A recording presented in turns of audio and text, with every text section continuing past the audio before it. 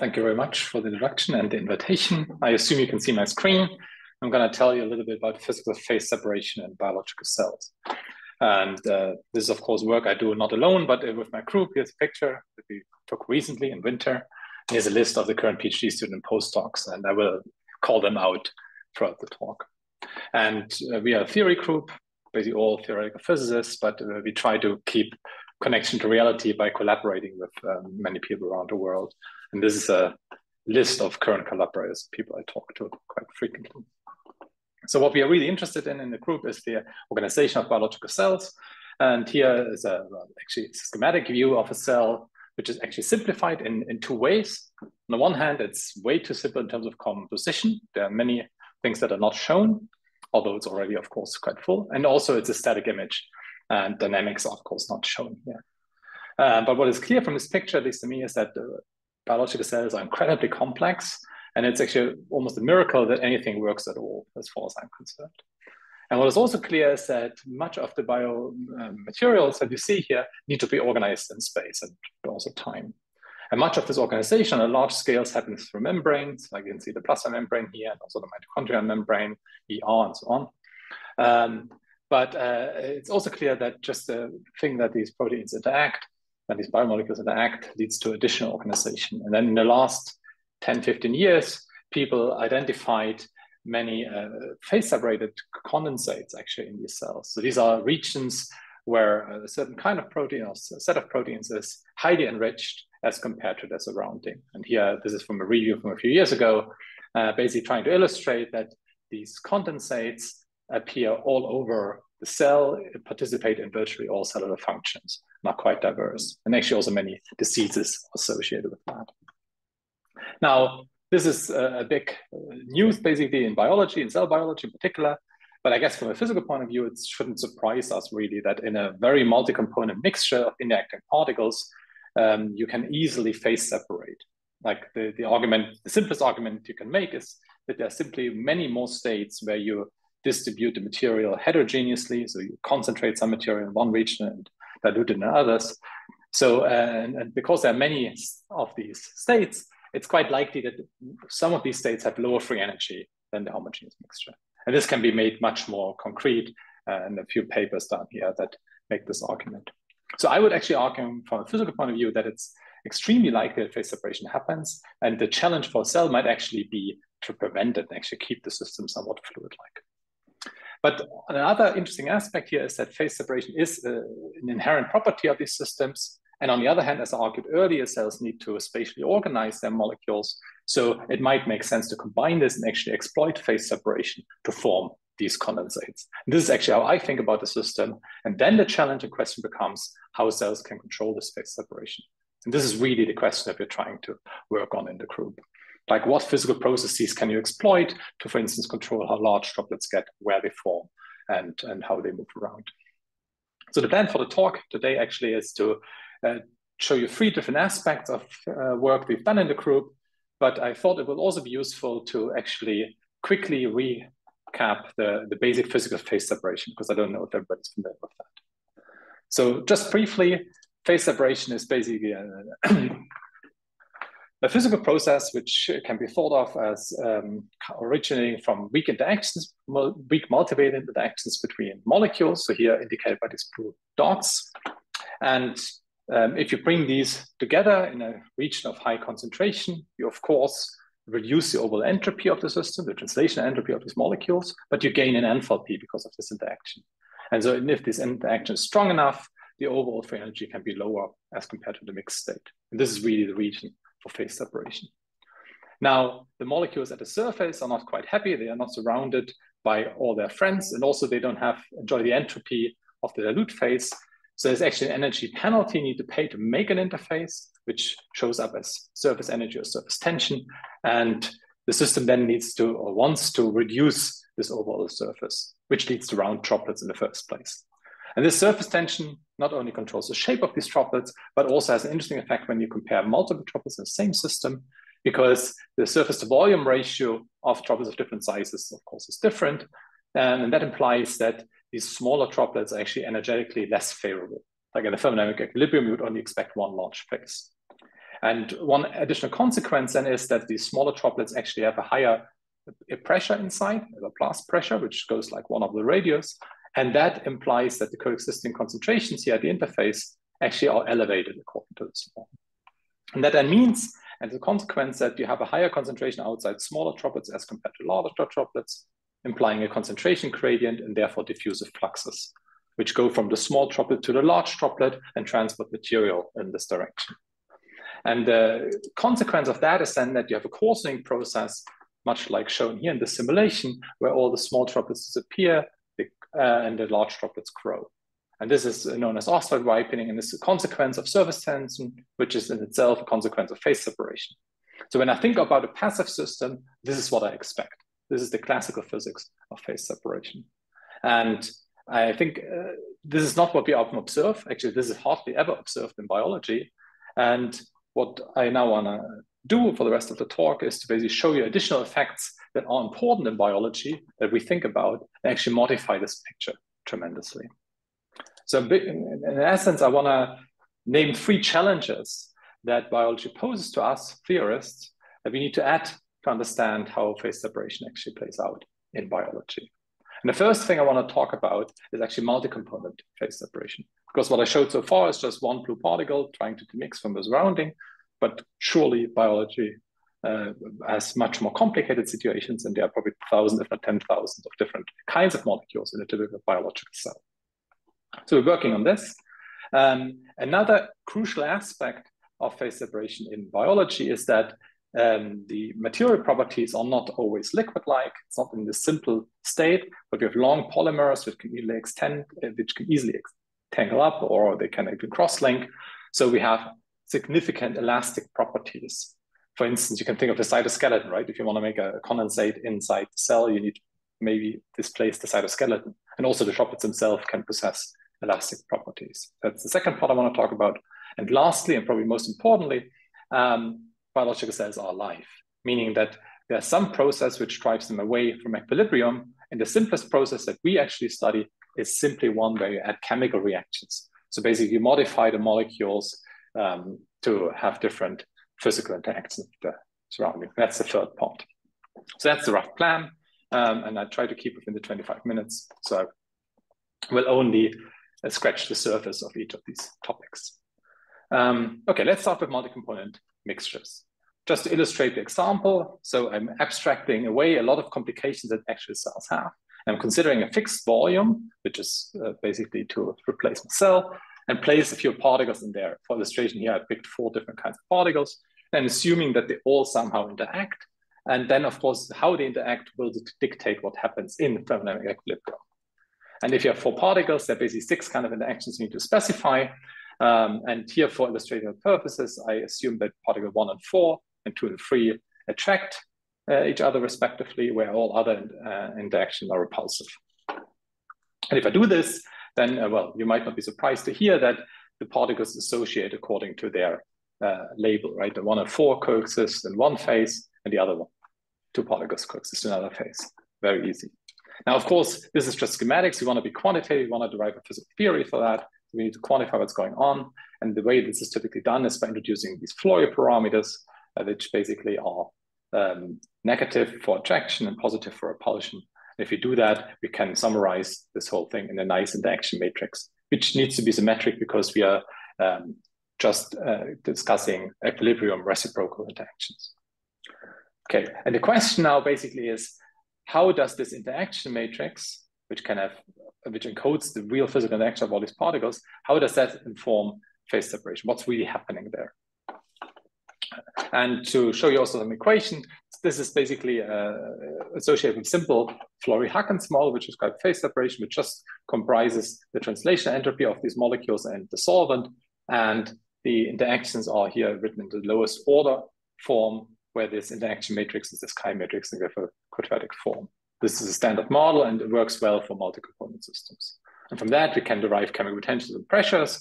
And you know that in equilibrium, both the chemical potentials and the pressures need to be equalized. at standard equilibrium thermodynamics. And they need to do this for all phases, because when you have many components, you can in principle have um, many phases. In fact, Gibbs phase rule, Gibbs phase rule tells us that we have, can have as many phases as components. Now, this is all traditionally known, it's, it's not very complicated.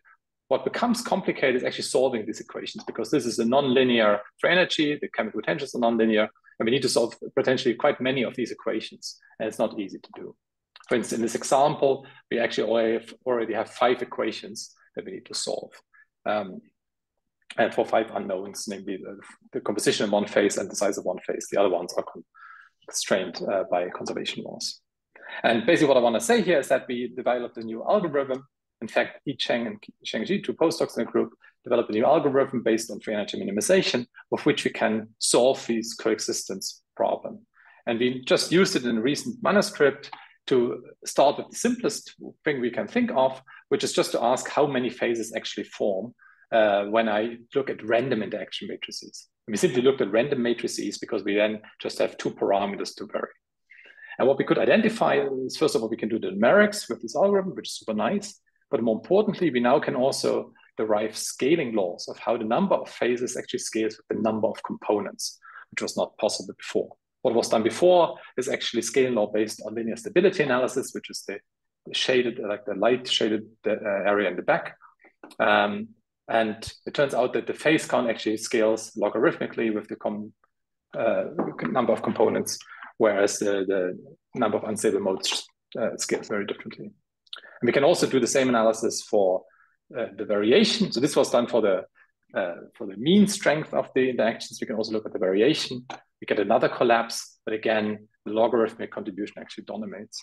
So what this is telling us that is that even for quite weak interactions, you can easily separate into multiple many phases um, when you have many components. Uh, whereas the homogeneous state is actually quite stable. And this implies in turn that there's a huge nucleation growth regime in these multi-component mixtures where potentially um, many different coexisting uh, states and you can have uh, droplets nucleate of very different kind. This is something you want to explore further in the future. But the, the two things basically I want to stress here. One is that we have actually now for the first time scaling predictions for the phase count in the simple case of random interaction matrices. And also we have a numerical algorithm, which we're now going to exploit for the coming years to understand this multi-component phase separation in much more detail.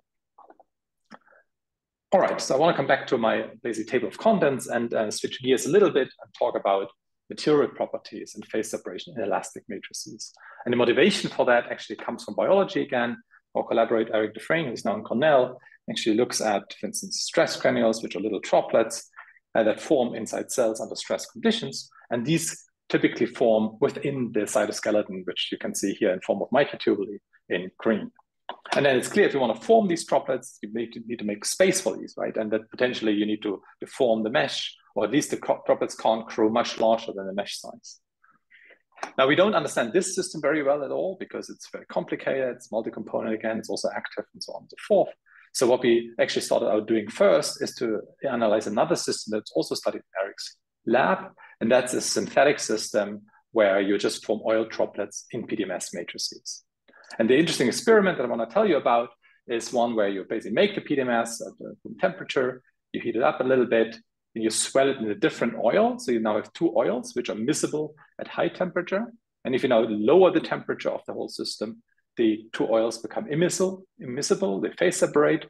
The PDMS itself, actually, or the gel itself, prefers one of the two oils so that the other oil forms little droplets or these labyrinth-like structures inside the gel. And this interesting observation that Eric had was that uh, you form quite regular structures in this map.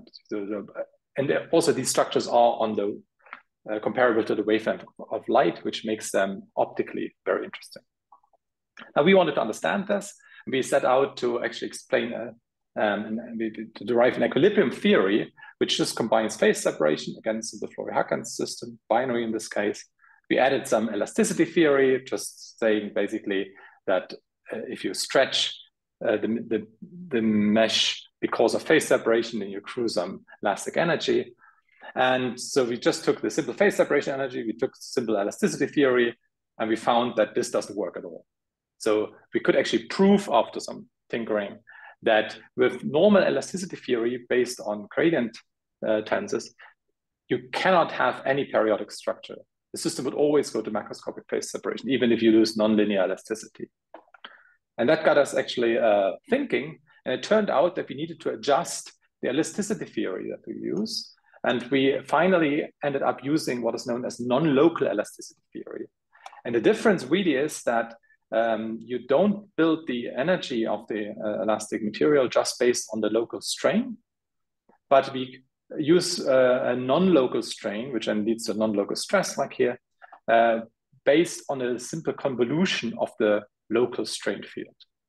So the idea is, just running through equations, you convolve the strain field with a kernel, which here chose a Gaussian kernel, which gives us a length scale.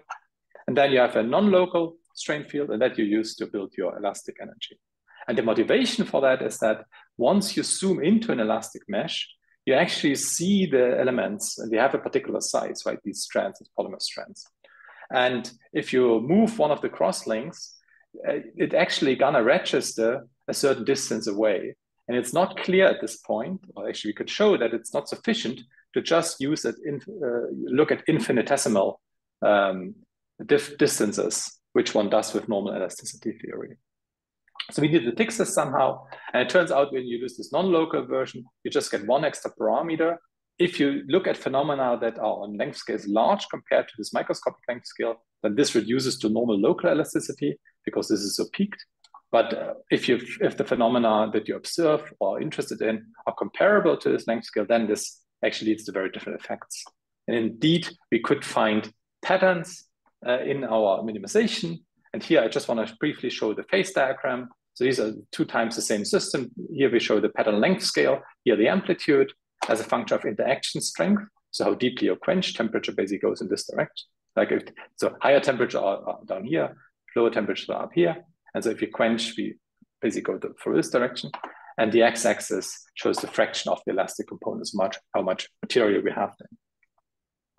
And there are a number of interesting observations. First of all, there's a pattern phase, which is exactly um, connected to what we observe in experiments. Secondly, we actually predict coexistence between a pattern phase and a homogeneous phase, much like we would in ordinary phase separation. But most importantly, we also find a continuous phase transition now, which is indicated by this red dotted line. Um, and this is actually surprising for phase separating system because normally you have, you have a first order phase transition where once you cross the um, saturation concentration uh, or the binodal more generally, then you expect the contrast to basically jump to, to very high values because uh, the coexisting phases have set uh, compositions. But here the contrast comes up slowly, as shown by its amplitude. We have a continuous phase transition, which was seen in, uh, in experiments. This is why I'm stressing this so much. Um, all right, so that's what we learned from this system that actually, uh, if I zoom out a little bit, what we learned from this system is that if you want to study um, phenomena on length scale that are comparable to the mesh size or a little bit larger than mesh size, you actually might, might need to modify your elasticity theory to incorporate some information about the mesh size, which we do with this non-local elasticity. There might be other ways to do it, but I think it's important to think about this, that you cannot always use these macroscopic elastic fields. So the bottom line, going back to schematics, is that if you form such a droplet in an elastic mesh, the mesh exerts an extra pressure on it, and you need to think about how this exactly happens. And another consequence actually happens when you have heterogeneities in the mesh on long length scales. So it's illustrated here. We have a soft uh, mesh on the right, uh, left, and a stiff mesh on the right. And now, in the simplest case, I exert a higher pressure from the stiffer mesh, right? That's the naive assumption. And I told you earlier already that higher pressures lead to higher coexistence concentrations and diffusive fluxes. And the same thing that applied to Ostwald ripening earlier also applies to this system. And together with Eric Dufresne's group again, we then termed this elastic ripening because it's ripening which is driven elastically. And this simple assumption actually allowed us to explain another experiment that Eric did, where again, they have the same system, PDMS, uh, oil droplets induced by lowering the temperature. Now the difference here is that the PDMS uh, stiffness is low on the left and high on the right. And when now we're actually looking at the microscope image right after quenching. And then if you let the system sit there, actually all the droplets in the stiff side dissolve and the, the droplets on the soft side grow a little bit. And this is exactly due to this elastic ripening. So I would argue that it's actually in these systems, not only in the synthetic system, but also in the biology, important to think about heterogeneity on short length scale which could give rise to these periodic patterns, and also heterogeneities on the long line scale, which can actually give rise to this elastic ripening. Good. And last but not least, um, I want to talk about the interesting effects of non-equilibrium. And here I want to contrast two situations. On the left-hand side, I'm going to show this video again of Ostwald ripening that we've seen before. And on the right-hand side, I want to show a video that was taken in Tony Hyman's lab in Dresden, um, where we're going to observe the, the, first division of some embryonic cell. Uh, and here they label one protein, which apparently uh, accumulates in these little clusters, which are actually condensates. So I'm going to play the movies side by side. On the left-hand side, we see Ostwald ripening. On the right-hand side, something very different happens. These condensates grow, and they actually dissolve right prior to cell division. Now we have two daughter cells, and each daughter cell makes a pair of droplets again. And you can see that this is qualitatively different than what we expect from a phase separating system. In particular, this cyclic growth and dissolution cycle is synchronized with the cell cycle and within each cell, you have droplets of exactly the same size, despite this small length scale where you would expect thermal fluctuations to matter. So I don't have the time to tell you the details of this model. I actually spent almost my entire PhD trying to explain what this is. But it turns out that chemical transitions are key here. we knew um, that kinases and, and ATP are important for this process. So instead of explaining this exact model, I thought it was better to just explain or show the simplest effect that chemical reactions, driven chemical reactions can have on a phase separating system.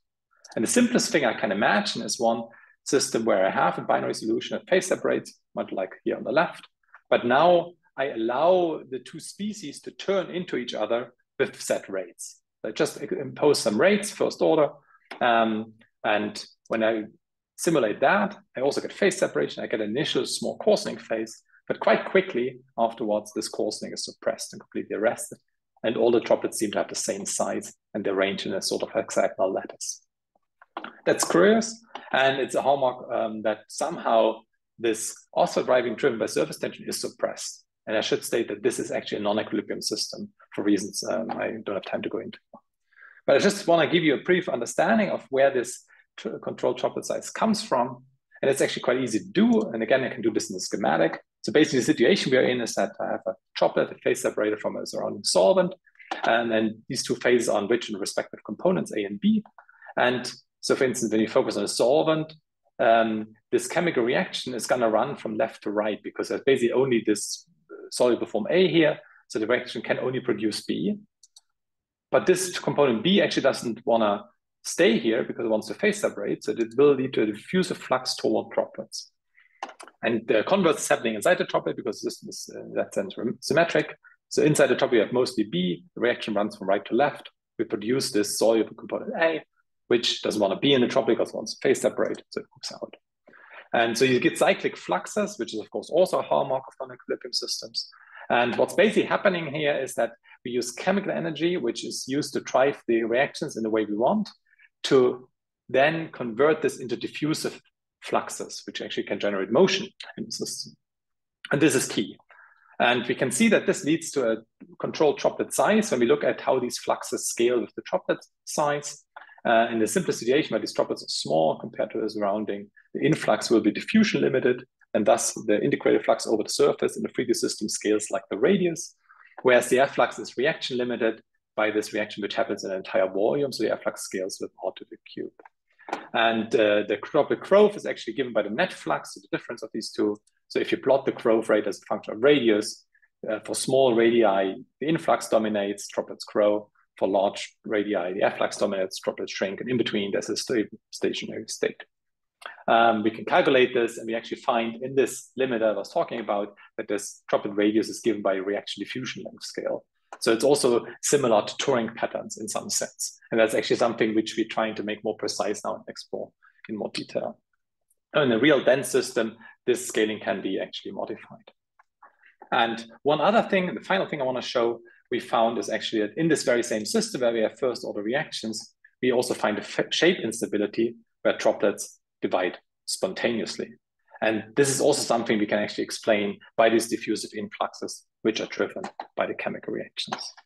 Um, there's maybe one more thing I can show that comes uh, about for sessile droplets, where you basically have a contact potential at a wall droplets want to sit there. We're here looking at rather neutral walls, so the contact angle is close to 90 degrees. But if we have on top of this, this chemical activity and diffusive fluxes, the, the wall actually breaks the symmetry tremendously and the fluxes become very isometric. So we can get these pancake-like shapes, um, which look nothing like the spherical caps that you expect in a passive system.